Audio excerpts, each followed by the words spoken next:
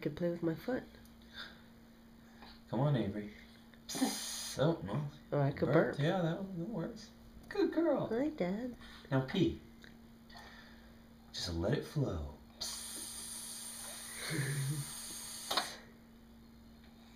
Avery.